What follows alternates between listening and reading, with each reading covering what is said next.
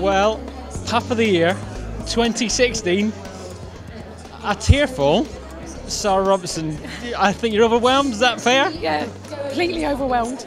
We just never thought, just never thought that, yeah, that we could have such an ex- a win under Mr. Corish again, off, especially after Crufts. It's, yeah, it's just amazing.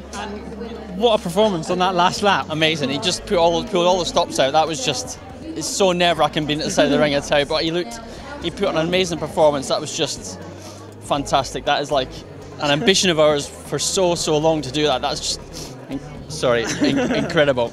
They both did fantastic. I was so proud.